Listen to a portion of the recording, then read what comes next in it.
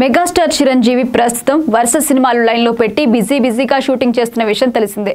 సినిమాలోకి రీఎంట్రీ ఇచ్చాక selected movies ఎంచుకుంటున్నారు మెగాస్టార్ చిరంజీవి. సైరా నరసింహారెడ్డి తర్వాత చాలా గ్యాప్ తీసుకున్న ఆయన ప్రస్తుతం కొరటాల శివ దర్శకత్వంలో రూపొందుతున్న ఆచార్య మూవీ ఫినిష్ చేసే పనిలో ఉన్నారు. ఇక ప్రస్తుతం ఆచార్య సినిమా షూటింగ్ క్లైమాక్స్కి వచ్చేసింది. శరవేగంగా షూటింగ్ జరుపుకుంటున్న ఈ సినిమాలో mega power star Ram Charan కీలక పాత్ర పోషిస్తున్న విషయం తెలిసిందే.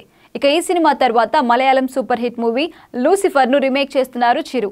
ఇక చిరంజీవి నూట యాభై మూడవ సినిమాగా లూసిఫర్ రీమేక్ కాబోతుంది. ఇక మలయాళంలో మోహన్ లాల్ నటించిన ఈ సినిమా మంచి విజయం సొంతం చేసుకుంది. అలాగే తెలుగులో ఈ సినిమాకు మోహన్ రాజా దర్శకత్వం వహిస్తున్నారు. ఇటీవల ఈ సినిమా పనులు కూడా ప్రారంభించారు సినిమా యూనిట్.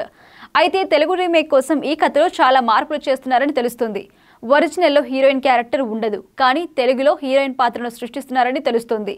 కథను ఏ మాత్రం డిస్టర్బ్ చేయకుండా లూసిఫర్లో హీరోయిన్ పాత్ర ఉంటుందని అంటున్నారు. అయితే ఈ సినిమాలో హీరోయిన్ పాత్ర కోసం చాలా మంది హీరోయిన్స్ పేర్లను పరిశీలించారు. చివరికి లేడీ సూపర్ స్టార్ నయనతారను ఫిక్స్ చేసినట్టుగా టాక్ అయితే వస్తుంది. అయితే ఈ సినిమాలో హీరోయిన్ పాత్ర చాలా తక్కువ సమయం ఉండే అవకాశం ఉంది. అలాంటి చిన్న పాత్ర కోసం లేడీ సూపర్ స్టార్ కావాలంటే ఆమె కాస్త ఎక్కువ పారితోషికమే డిమాండ్ చేస్తుందట.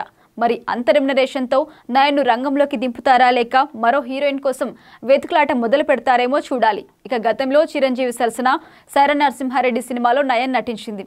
అతి త్వరలో ఇక చిత్ర నటీనటుల పూర్తి వివరాలు కూడా వెల్లడి కానున్నాయి.